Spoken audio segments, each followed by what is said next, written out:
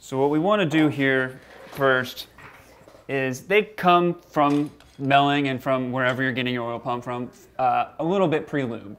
Okay. But I like to take it a little bit further because if you can hear that, that Oh, yeah, sounds very metal on metally. It still sounds dry. Yeah, so I always like to take a little squirts of oil and get it in here.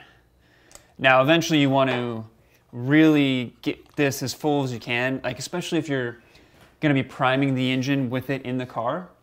Um, you don't have that great option of like really priming it ahead of time, so you want to have as much oil in the pump before anything Right. of that happens. So getting all the oil in here now is very beneficial for you.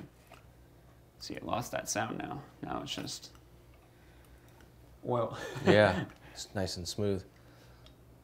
Now, there's no O-rings or anything So- between the block and the pump, is there? no, this is a machine surface to machine surface, and they just want it that way. And uh, yeah, it's pretty nice and About simple that way. Straightforward as you can get. Exactly. So we're just lining up. What we're trying to do is here is these, this is keyed in a sense, right? Yeah. And this is as well. So you're trying to find. There's no one specific point that will only work. Okay, You could so just line equal. them up. Yeah, they're all equally distanced.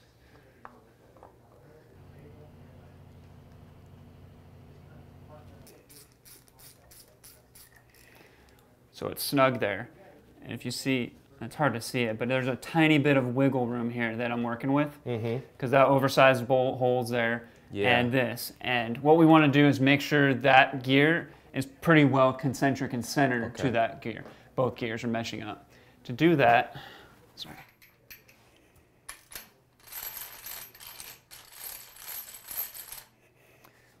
We just want to rotate the motor a little bit. And now the snug bolt, once it finds its kind of home, let's say, it'll, you know, stay in place Oh, I see. and it'll actually center itself. And then you just torque it down. And then, yeah, I'm just going to gradually bring them in a little more. Okay. Now these get torqued to uh, 18 foot-pounds.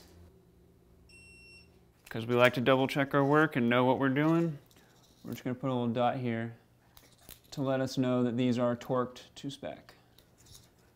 Okay, so since we're going to run a um, standard pressure high volume on this application, what we're going to do is we're going to remove this plug here, and inside this void here is a spring, and that's what controls our uh, pressure relief valve.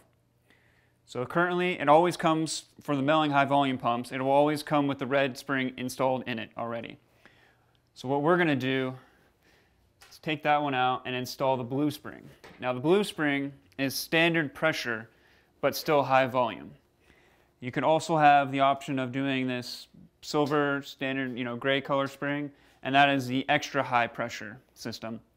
Um, we don't typically need that for this application. It's a pretty, you know, mild build, but uh, we're looking for a good volume pressure, but not necessarily high. So we want to keep with standard pressure pump.